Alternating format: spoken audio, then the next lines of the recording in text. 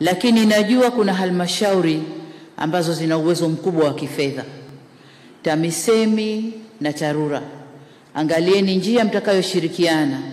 Kama TARURA wana ukosefu wa fedha, lakini halmashauri kuna fedha, hizo fedha zitumike kutengeneza barabara, na zile zitakazotoka hazina zitakwenda upande mwingine, lakini kwa halmashauri zote zenye uwezo wa fedha, basi zitumike kutengeneza barabara katika maeneo yao. Uh, haki za wananchi.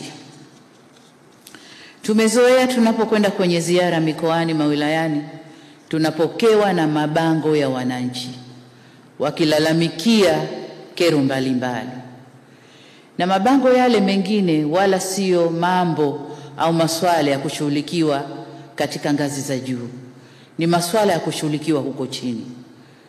Kwa naomba tunapokuja huko, mimi makamu wa rais, waziri mkuu, tukikuta bango basi ziwe ishu za kitaifa, lakini siyo mambo ya kushughulikiwa kule chini. Nataka niseme bango moja, aidha mkurugenzi au mkuu wa wilaya amekwenda, na hii haina maana mkazuie watu kuandika kero zao, kwa sababu najua tunapokuja watu wanakuja na mabango mbio mbio, mnakwenda kuyakusanya na kuwanyuka watu kuwapeleka mnakokujua nyie, ili wasiseme yanayowasibu.